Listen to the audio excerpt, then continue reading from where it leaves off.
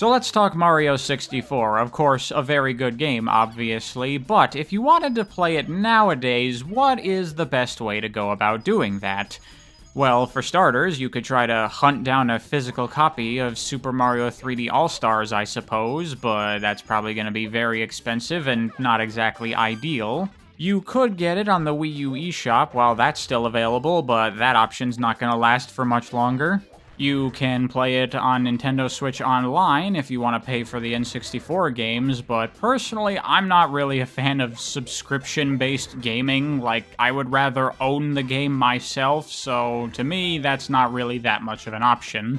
And then aside from that, your only other choice is to hunt down an original N64 cartridge. None of these are particularly ideal, obviously, but also, more importantly than just how acquirable they are, these versions of Mario 64 are, for the most part, very faithful to the original game released on N64, which I'm sure many people will see as a good thing, but personally, I am not really in love with that because, I mean, let's not kid ourselves here. Mario 64 has a lot of problems. The controls can be very finicky a lot of the time. It has, like, the worst camera I've ever used in my entire life in a video game. It has a really short draw distance, making it so that, like, coins and stuff appear, like, five feet in front of you, making getting the 100 coin star a pain in the ass in most levels. There's also the fact that, you know, structure-wise, the game boots you out of the level every time you collect a star for no real reason. Among many other things, Mario 64 definitely has its issues. But that is where the version that I'm playing here comes into play, Mario 64 Plus. For those that are unaware, let's rewind a little bit. So a few years ago, Mario 64 received a decompilation made by fans, which essentially just gave it a native PC port, which is really cool. But then even cooler than that is that decompilation was taken and used to create this version of the game here, Mario 64 Plus. And this game comes with a giant menu of a ton of options and fixes and changes that you can apply to the game to tweak it to your liking. If you don't want to mess with any of this stuff, then you could just play normal-ass Mario 64, but at a higher resolution and frame rate and with widescreen if you wanted. But if you want, you can also change up a lot of the things to potentially improve Mario 64 if you feel like it. You can make the controls a lot tighter and more precise. You can give the game a fully manually controllable analog camera like a modern game would have. You can eliminate the draw distance so that everything is always rendered at all distances, and probably biggest of all, you can make it so that when you collect a star, the game asks you if you want to stay in the level, and you can just keep on going. And for me, these are such massive, huge improvements to Mario 64 that I consider this version of the game to be absolutely essential to getting the most out of this game.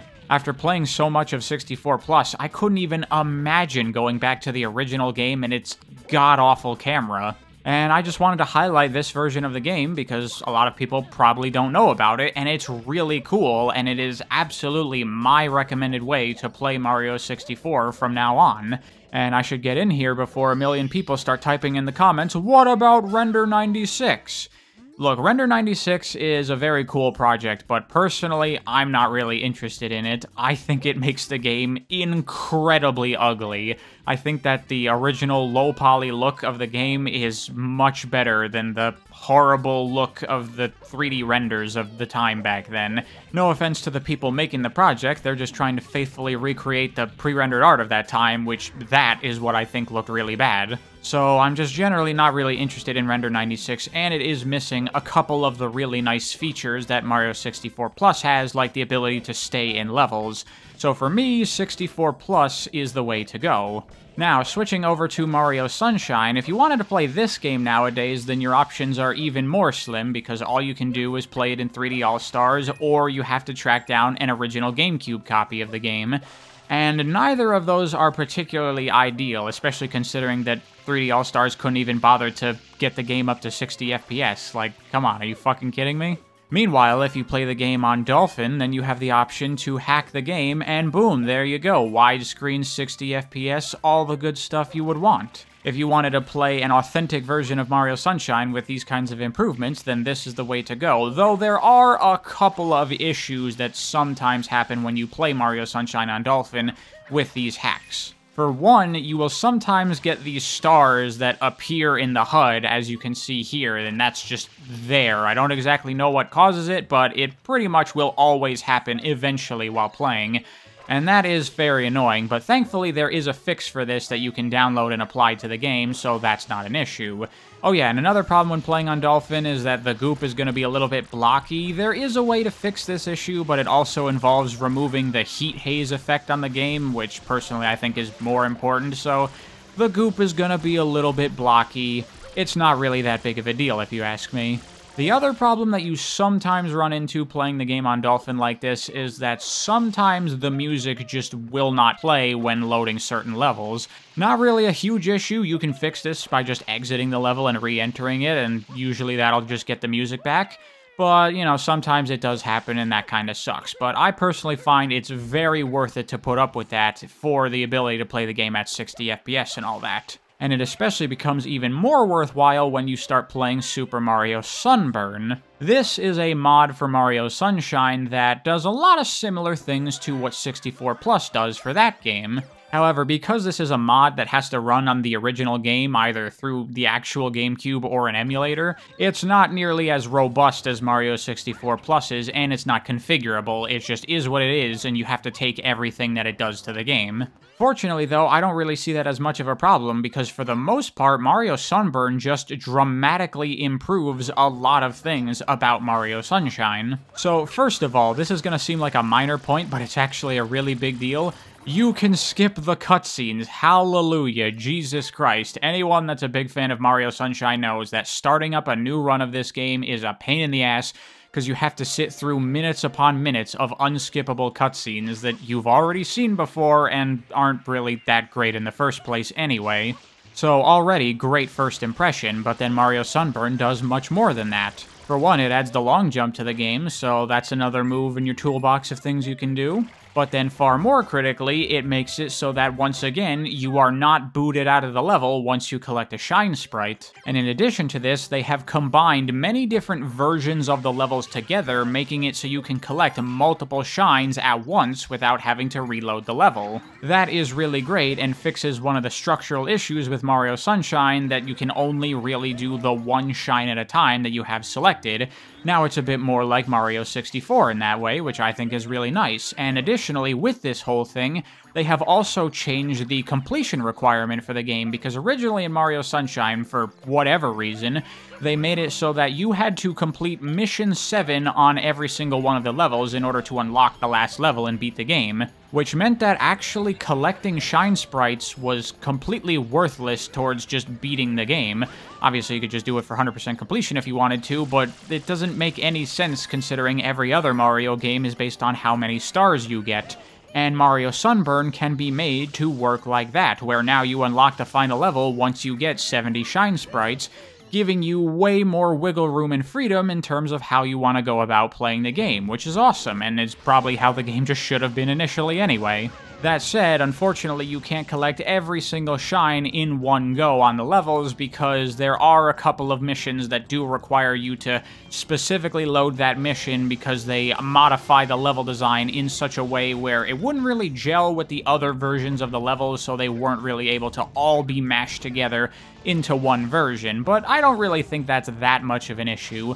You can jump into the level and collect like four or five shine sprites, and then you just have two or three more that you just have to pop in and out real quick to get them not really that much of an issue. And actually, they've made it so that anytime you enter like a sub area, like a secret level or a boss fight or whatever, they've now added these pipes that allow you to just go right back to the mission select of the level. So you don't even have to go through the whole process of going back to Delfino Plaza. You can just go right here and then just immediately select the next mission to make that shine gettable. So this really smooths out the process of playing Mario Sunshine and makes it a lot faster and a lot more intuitive and a lot more like Mario 64, but with the addition to collect multiple shines all at once, just like 64 Plus, which is great. But then Sunburn goes even further beyond that still, because it also adds a whole bunch of new coins all over the levels, making getting the 100 coin shines way less annoying.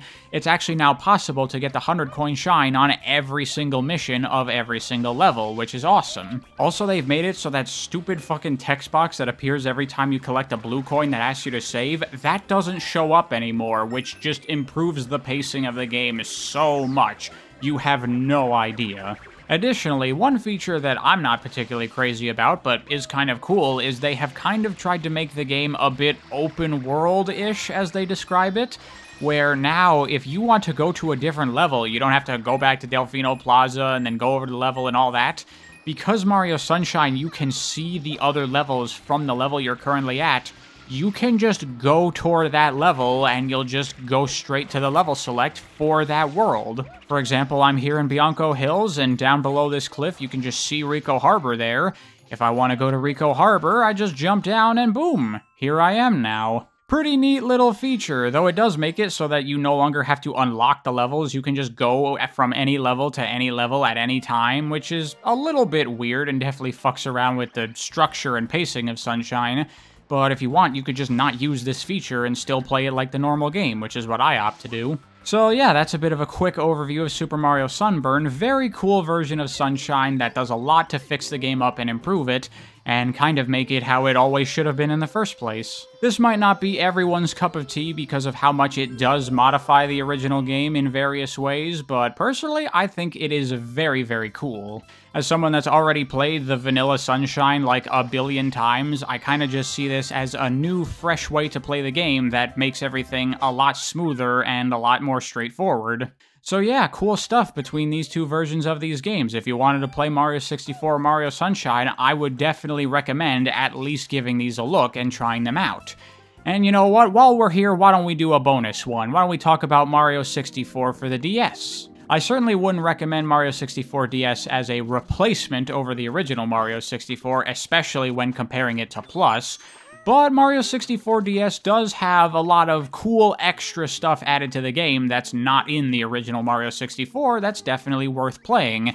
However, the big issue with Mario 64 DS is the controls, because as it's a DS game, the game does not normally have analog control, you have to use the D-pad, which really hurts the playability of the game. It really makes it control kinda like shit. However, thankfully, there has also been a really cool community project made for this game as well, where you can play Mario 64 DS with analog controls, and this makes the game way more playable and way better. I'll have links in the description below for all of this stuff for you to go check out. Uh, yeah, definitely play these versions of these games, they're really cool. If you followed me for a while, then you know that I am definitely a big fan of community projects that enhance classic games, and it's great to see these games that definitely had problems and needed fixing up getting those fixes and being made much better than they were. To me, this is kind of like helping these games realize their full potential that they weren't really able to due to technical limitations of the time. Uh, so yeah, fan versions of 3D Mario games, big thumbs up for me, go check them out. Thank you for watching, hope you enjoyed. I'll see you next time.